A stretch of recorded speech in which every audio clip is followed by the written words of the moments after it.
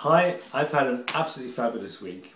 Uh, two profound experiences that catapulted me right back into the past and then pulled me forward to the future.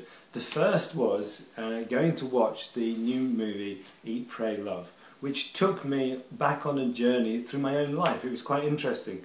Um, the, the first thing, the eat bit, was about food, and it just reminded me so much about how, when I was a child, food was fuel it was the kind of stuff that stuck to your guts and kept you going. There was no pleasure in the food, there was no socialisation in the food, it was just fuel. And when I left home, the biggest thing for me was discovering flavours. And the first flavour that I discovered, which now would seem to me boring and mundane, was soya sauce, which is full of monosodium glutamate. Um, and it excited my taste buds, and I began to realise that there were flavours in the world. I've been eating this bland stuff all my life, and I suddenly discovered that food could be exciting. And the food that I find most exciting is Italian, which is exactly where she went in the, in the movie. So that was fabulous. The, the, the, second bit was she ends up in an ashram, which is just my world too.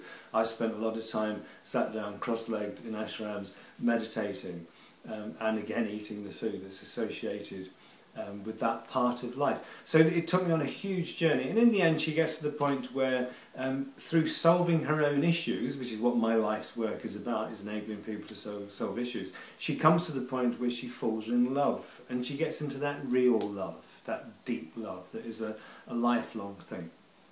And again, it took me years through that process, and eventually I found the person to create life with. Um, had to a lot of frogs on the way, but in the end, you get there. And it's, it's the interesting thing about the journey.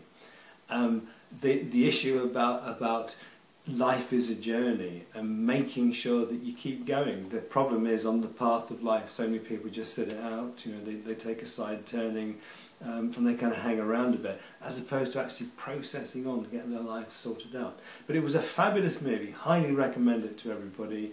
Um, it left me with wonderful, deep emotional feelings that were very resonant, um, quite deeply emotional, but, but very, very profound. Loved the film, absolutely fabulous.